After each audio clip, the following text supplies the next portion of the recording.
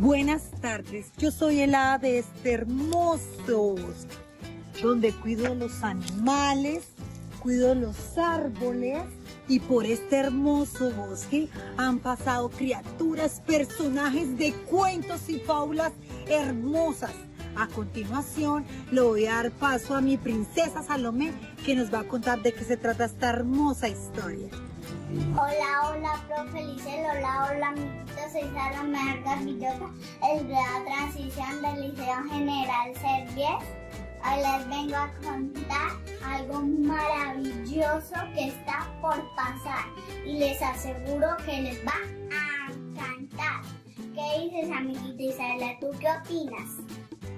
Hola, buenos días. Me llamo Isabela Estoy en el Estoy el grado transición. Ahora viene la gran. Que se abarque que ya viene la gran. A, continuación, el rey de Nakua. El hijo de Dana, din, din, din, din, Nakajo, salió esta mañana muy tieso y muy majo. Con pantalón corto, corbata a la moda, y chupa de boda. Muchachos no saludas, le dice mamá, ella un gesto, ¿y a dónde se va? un rato vecino. Digo, amigo, venga usted conmigo, visitemos juntos a la ratona. Habrá caché y habrá comelona. A poco llegan, avanza el ratón. Si el cuello coge el ataúd. de golpes, pregunta quién es. De la ratona, es intenso.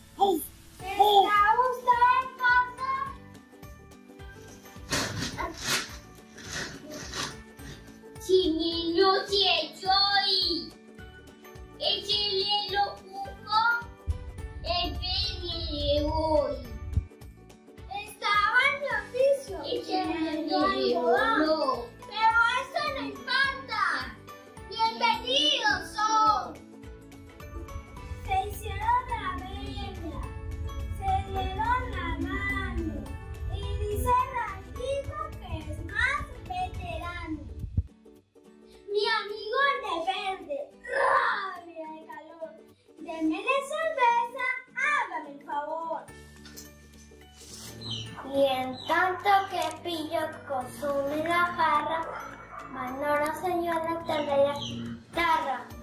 Y a Renacuajito le piden que cante persillos alegres, cotorras elegantes.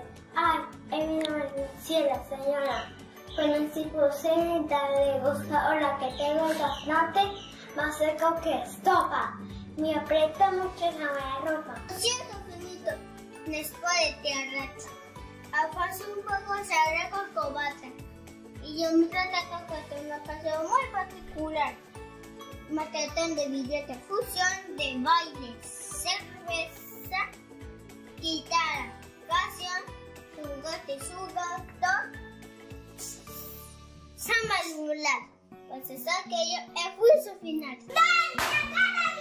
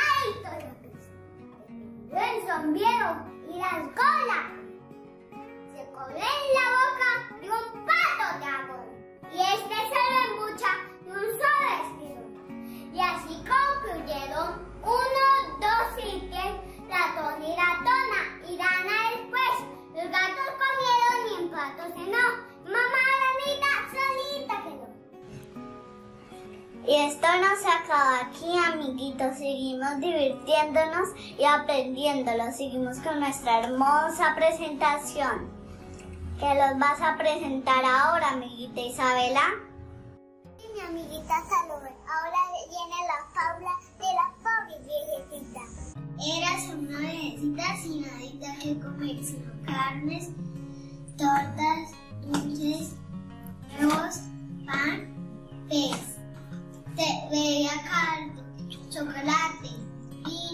té y café.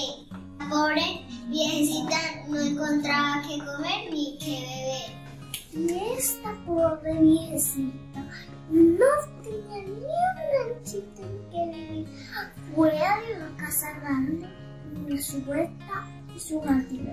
Nadie, nadie la cuidaba, no a nada igual y. Dos criados y dos pajes de libreo y corbatín. Nunca tuvo en qué sentarse, sino sillas y sofá, con banquitos y cojines y resorte al respaldar. Ni otra cama que una grande, más dorada que un altar, con colchón de blanda pluma mucha sede, mucho lana. Y esta pobre viejecita para años tuvo otro año más de y un año que. Al mirarse en el espejo, me espantaba siempre allí y otra vieja de pasa. Papá, le Y esta pobre viejecita tenía que vestir, sino traje de mil cortes y de tela mil, a no ser por sus zapatos, chanclas, botas y escarpín, descalcita por el suelo, anduviera de infeliz.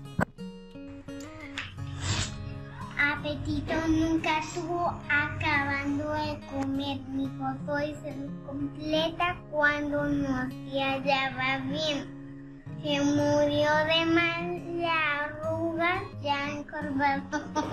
Tres.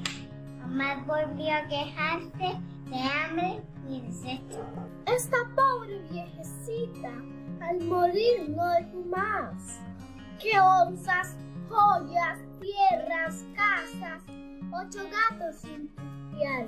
Descanse en paz y Dios permita que logremos disfrutar las pobrezas de esta pobre y morir del mismo mal. A continuación le doy paso a mi amiguita Sofía que nos va a contar algo muy importante. Rafael de Rafael Po nació en 1833 y murió en 1902. Fue poeta, fabulista y un gran escritor de cuentos infantiles en Colombia. Como Renacuán Paseador, La Pobre Viejecita, Simón el Bobito, entre otros. Y colorín colorado, esta obra de teatro se ha acabado.